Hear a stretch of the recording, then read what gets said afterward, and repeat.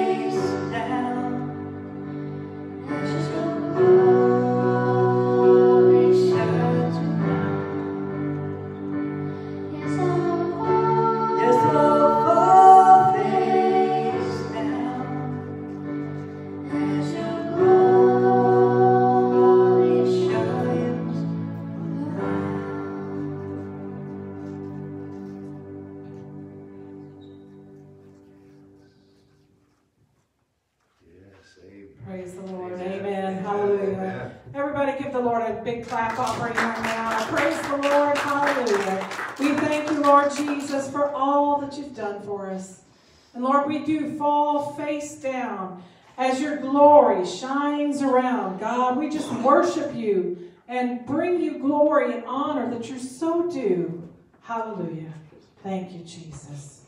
Amen. Amen.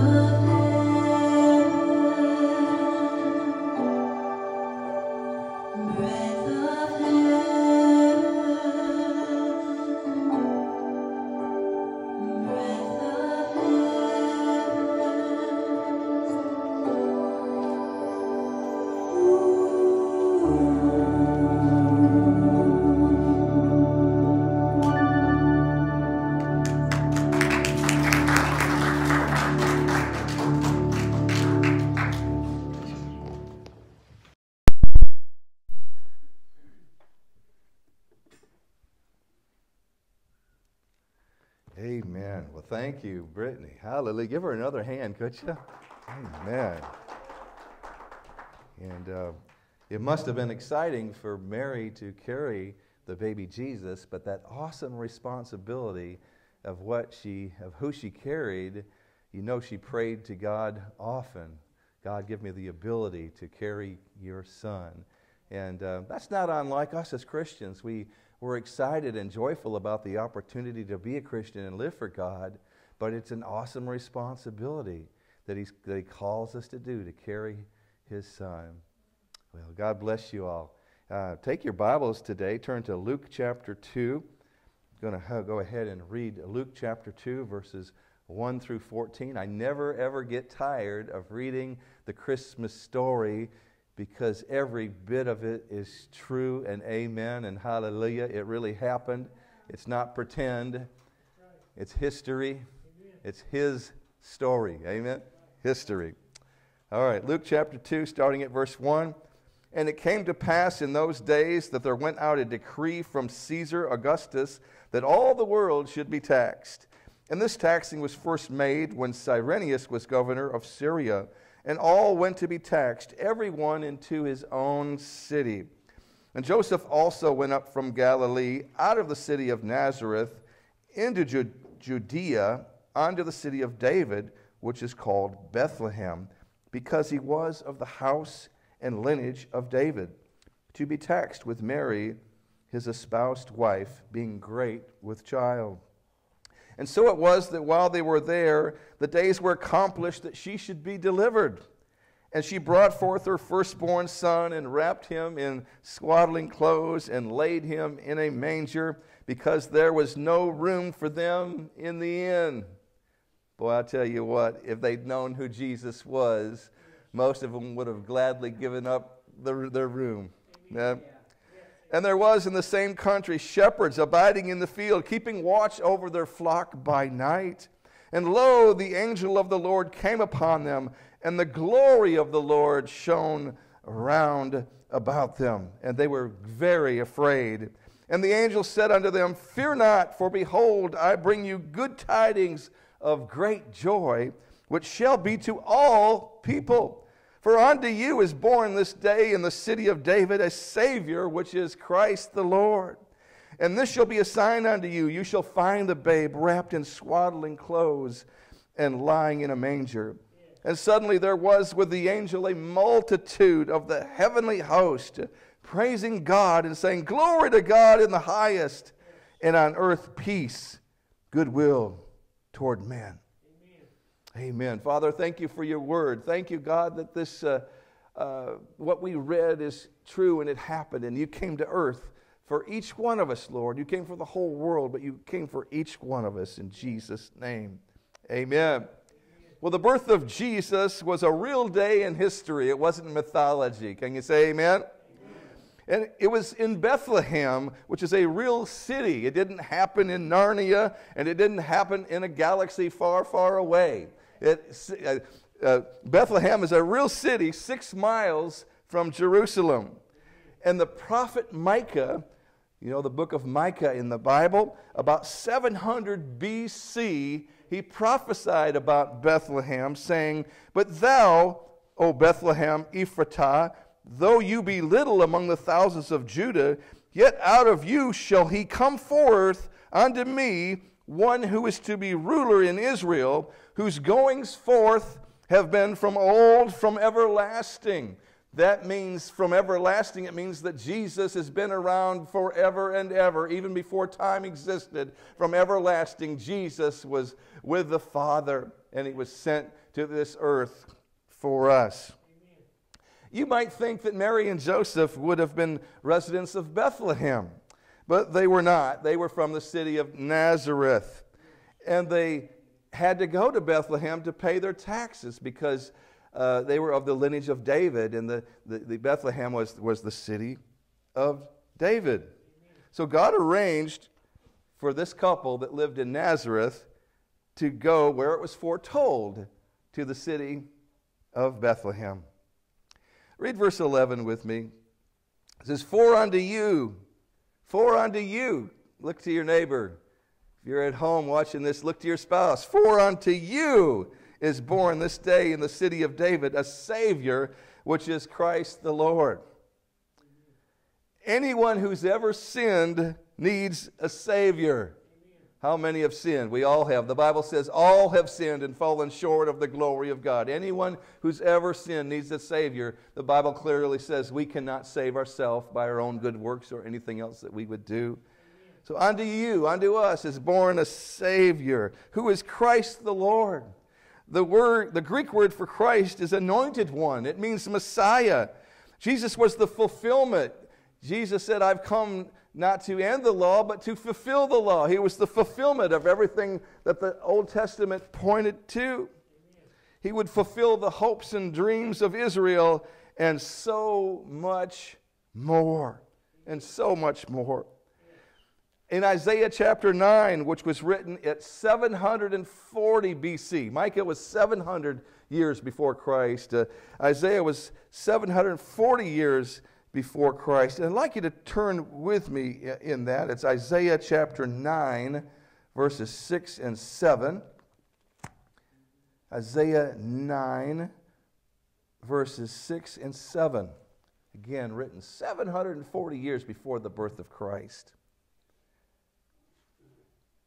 It says this For unto us a child is born, unto us a son is given, and the government shall be upon his shoulder and his name shall be called Wonderful, Counselor, the Mighty God, the Everlasting Father, the Prince of Peace.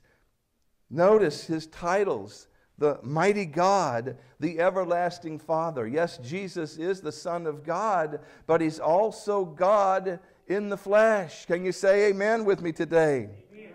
And verse 7 says, Of the increase of his government and peace don't miss that peace. Of the increase of his government and peace, there shall be no end upon the throne of David and upon his kingdom, to order it, to establish it with judgment and with justice from henceforth, even forevermore. The zeal of the Lord of hosts will perform this. Of the increase of his government and peace, there shall be no end, no end. Flip back to Luke chapter 2. I hope you held your place there. I didn't, so it, it, it'll take me a second maybe to get there. But Luke chapter 2, verse 14. Remember, the angel proclaims, Unto you is born this day a Savior in the city of David. And there's a reaction from all of heaven, from the heavenly host, which is the army of the living God. And suddenly there was with the angel a multitude of the heavenly host praising God. And this is the main phrase I want you to listen to and remember from today. The, the heavenly host, the army of God, says this Glory to God in the highest, and on earth peace, goodwill toward men. Amen. First and foremost, God is to be glorified. Amen. First and foremost, God is to be glorified. Hallelujah. Glory to God in the highest. That means give Him the highest praise. And the greatest thing that God has ever done on planet Earth is when He made Himself a baby and came to earth for us. So, glory to God in the highest. We give God the, the glory. And on earth, peace, goodwill toward men. So, second, First, give God the glory. Give Him glory in the highest for the greatest thing that He ever did for planet Earth. And secondly, peace on earth. Peace spreads wherever the child is received. Glory ever ascending from man to God, and peace ever descending from God to man. And it's interesting, the NIV reads this, reads this way, and on earth peace to those on whom his favor rests. So God, God's peace is offered to everyone in the world, but it only rests and comes to those that receive him.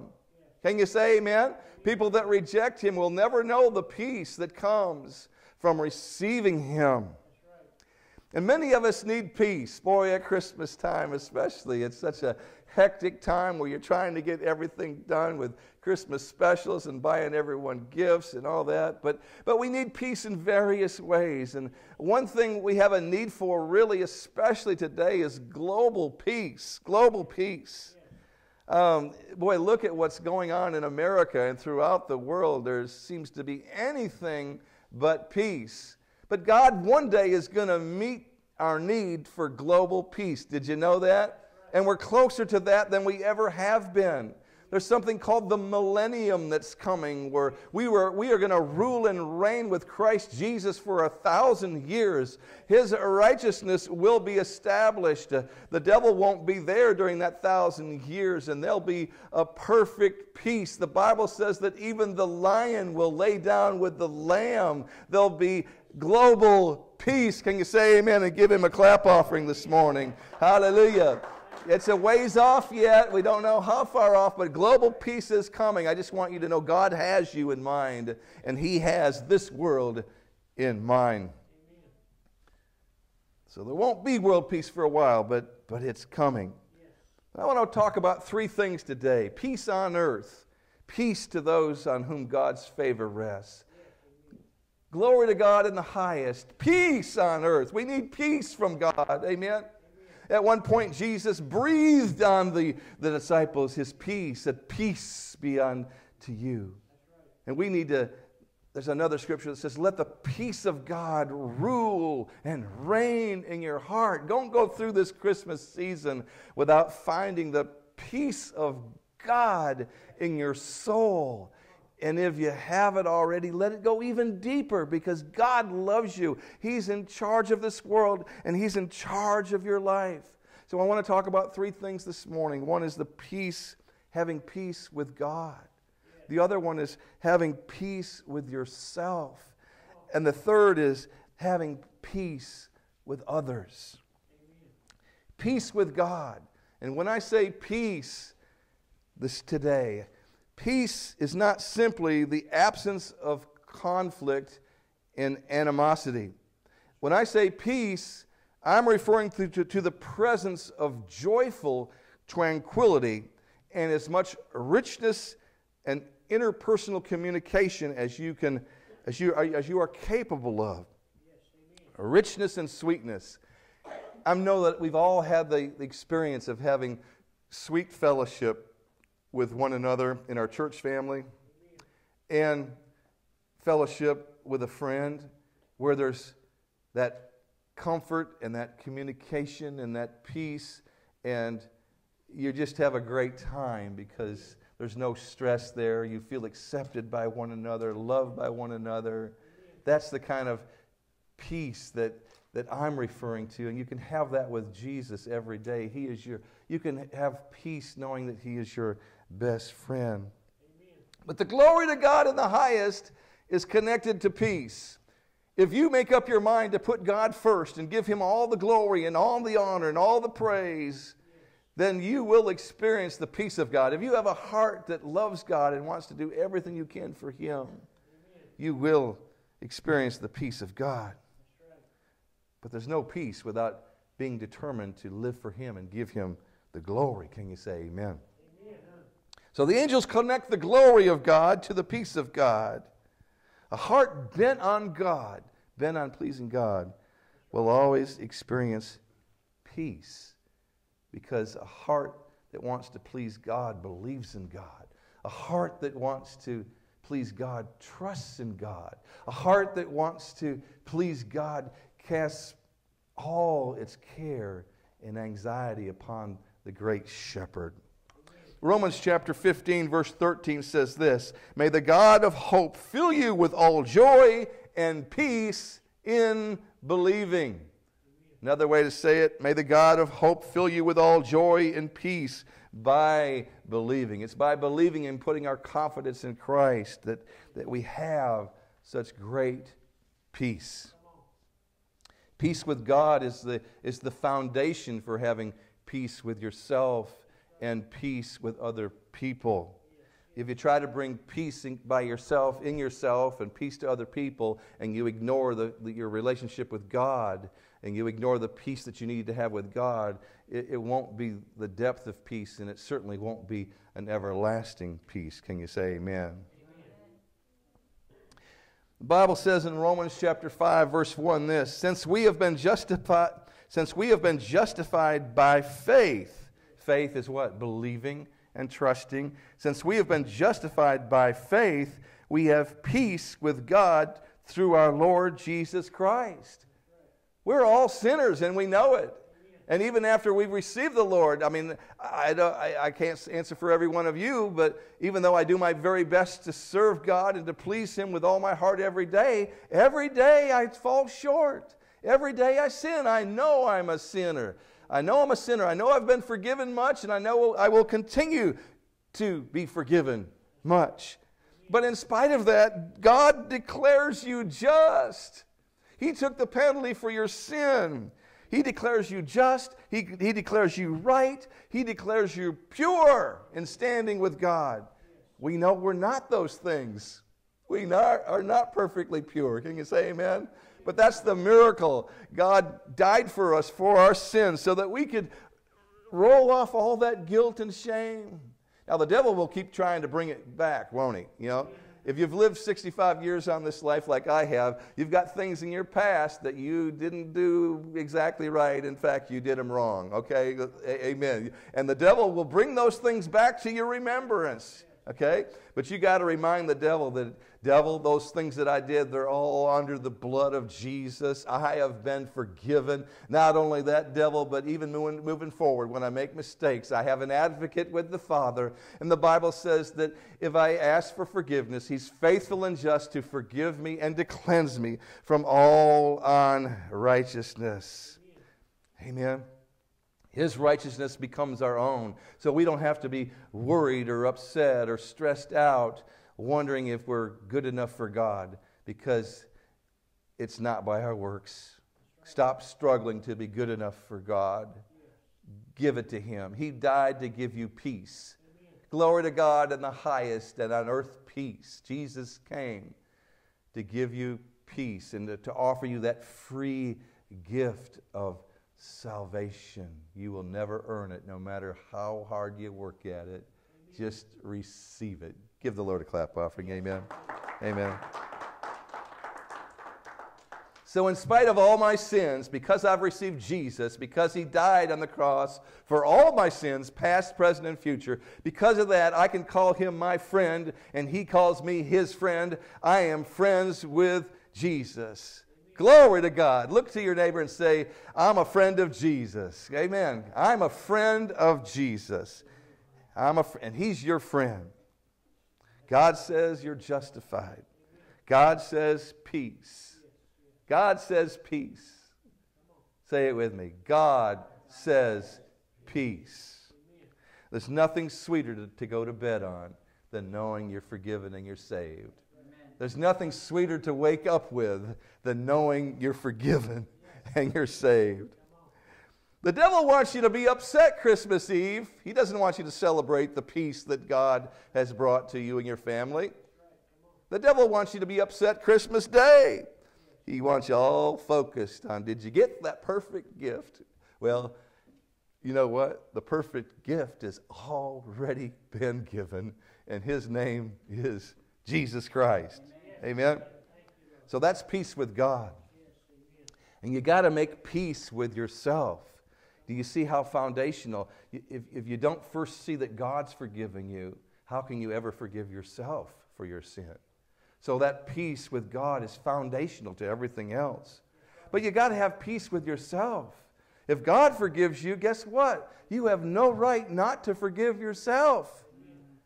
The devil works overtime at, at, uh, and we're torn up sometimes by guilt and anxieties and instabilities, by bad feelings that, that have no reason to be there.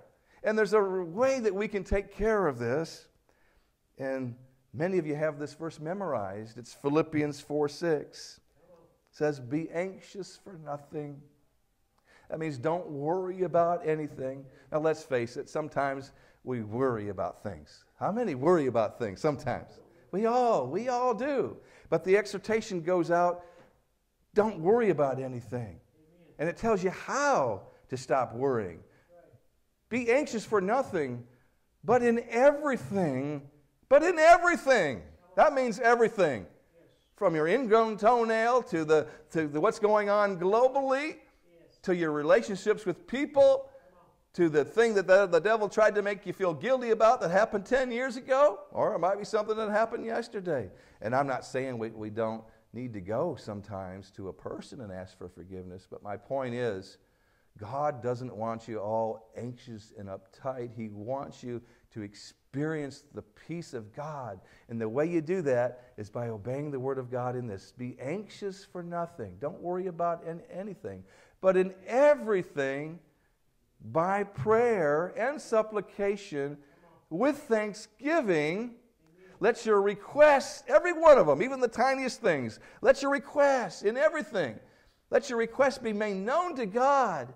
And then, you know what the Bible says? When you do that, when you just cast it all on Him, the Bible says, then the peace of God, which passes understanding, will keep your heart and mind in Christ Jesus. See, your mind may be telling you that you have every reason to feel guilty or ashamed or upset or uncomfortable. Your, your mind may be telling you that.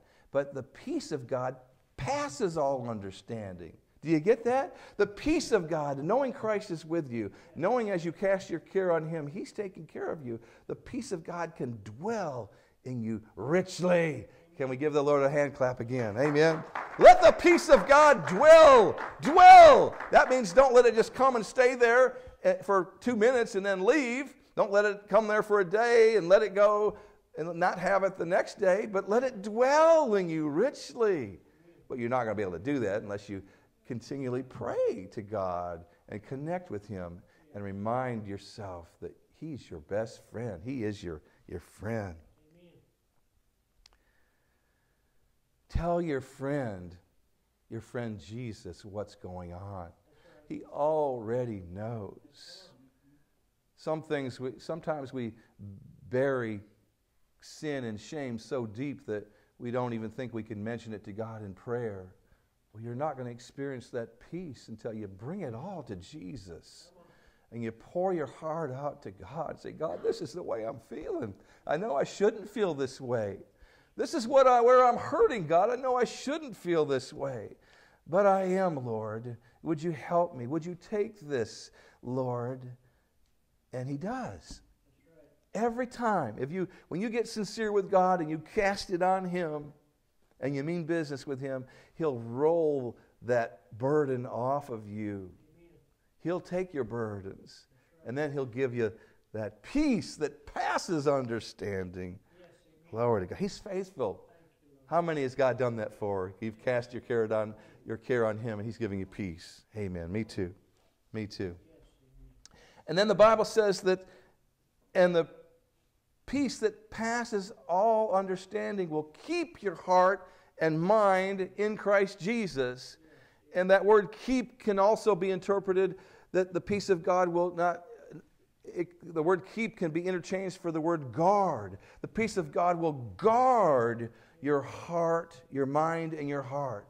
And we need a guard because we're in a spiritual battle. The devil is constantly, how many is the devil constantly trying to steal your peace? Okay? But if you'll cast your care on him, the peace of God, which passes understanding, will guard or keep but guard is an even more accurate word. Will guard your heart and mind from the onslaughts of the enemy. See, that Jesus has given us the weapons of our warfare to protect our mind and our heart from anxiety. Okay? So remember that.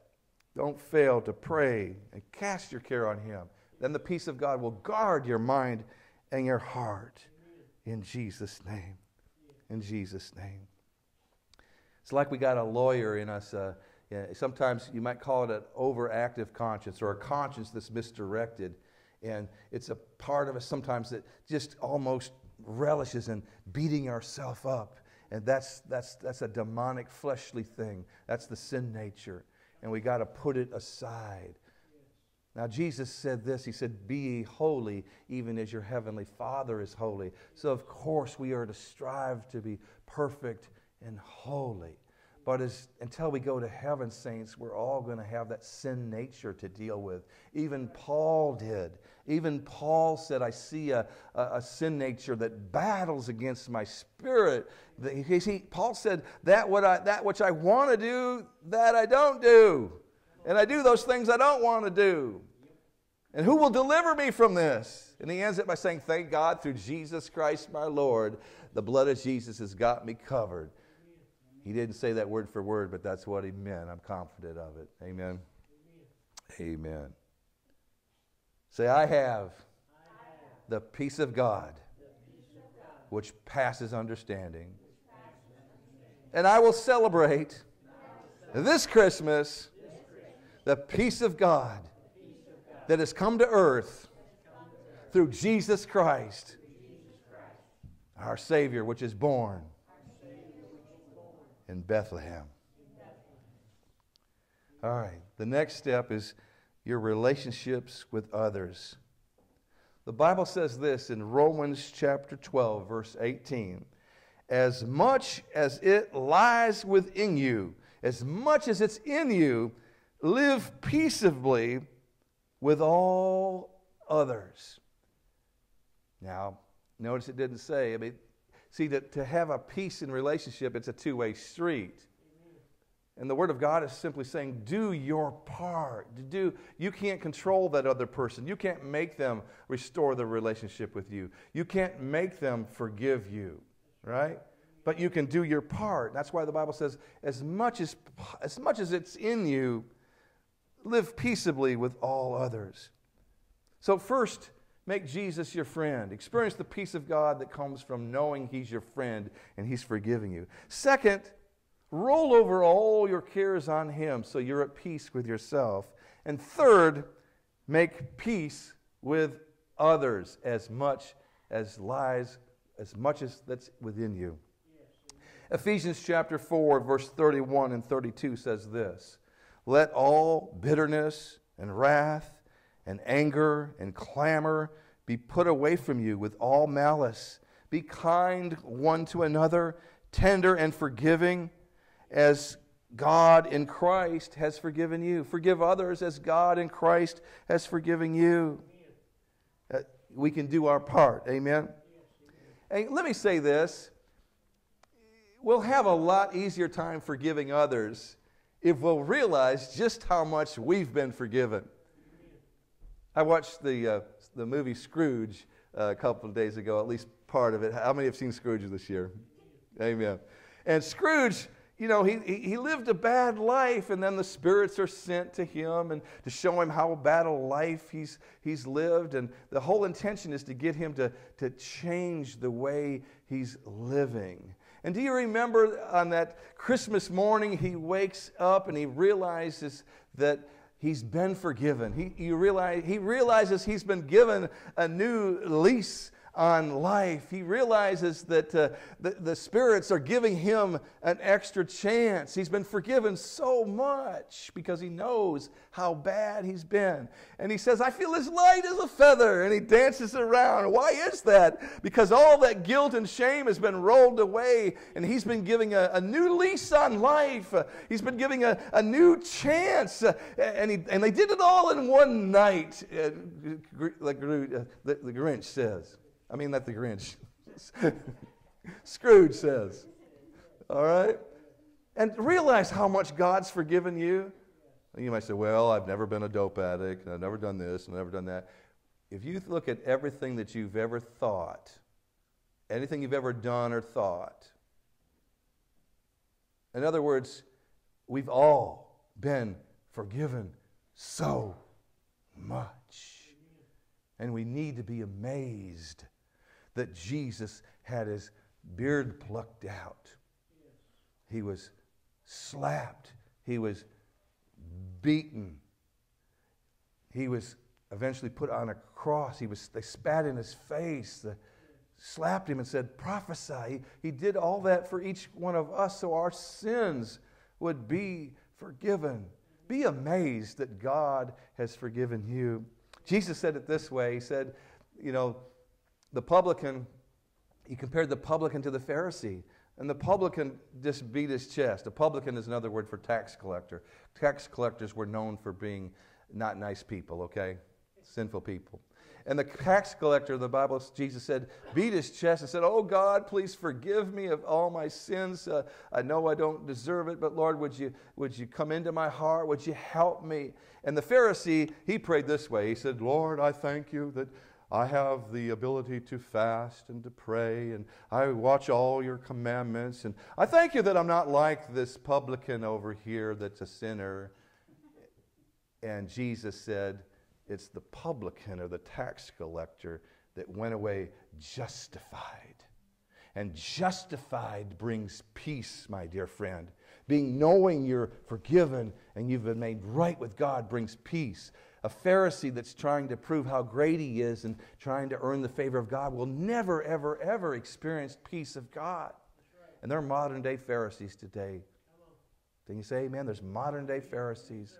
They won't experience the peace of God because they can't earn their salvation. Only God can save you, only God can forgive you. So be amazed at, your, at what you've been forgiven, and then it'll be a lot easier for you to forgive to forgive others. Keep your friendship with Jesus, roll your anxieties on him, guard your heart and mind against fear and anxieties, and then do your best to treat others right. Forgive. Oh, it's so easy. It feels so good to the flesh to say, they did this to me and I'll never forgive them and, and I'll get them back. But it feels good to the flesh, doesn't it? But Jesus said this He said, Forgive and forgive 70 times 7. One of the disciples said, How much should I forgive? Up to seven times? Jesus, Jesus said, 70 times 7. In other words, just keep right on forgiving them. We, we've got to live with people that don't have good attitudes. We've got to live with people sometimes that don't treat us very good. But you see, we have to be, we have to dwell in the peace of God, and we have to be peacemakers.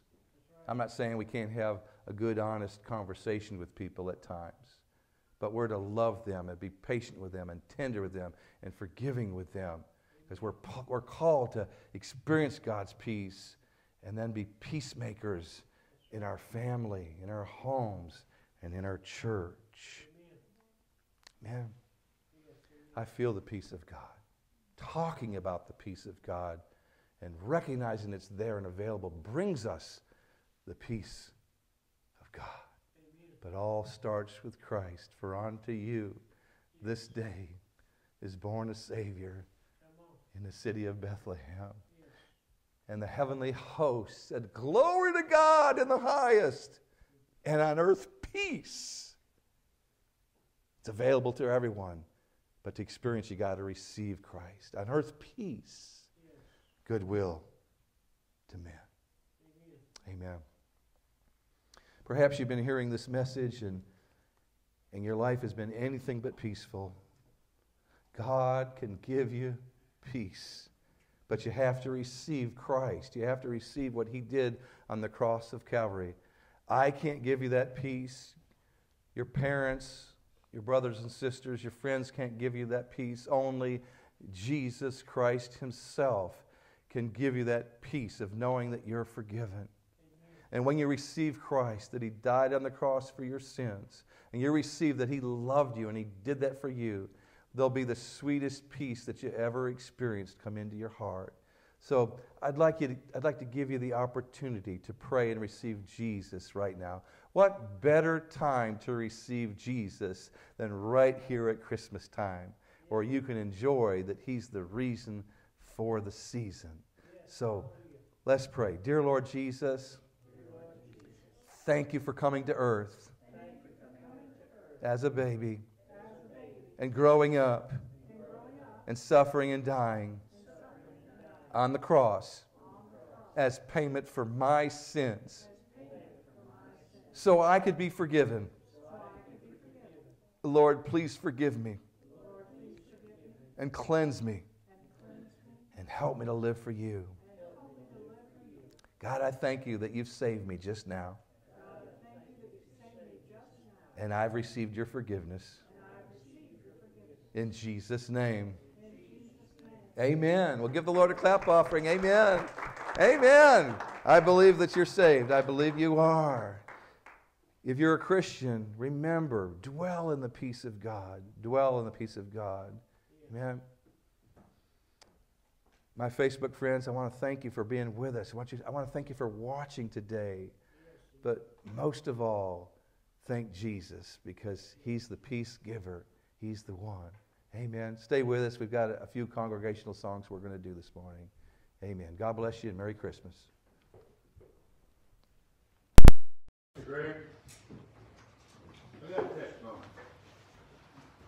Go ahead. Yeah. Little church with a big heart. I asked Pastor, our Pastor Greg, pray for some friends of mine. The lady that Worked with many years ago in construction. She has two daughters and a son. And, uh, well, get on with it. Come down with the virus.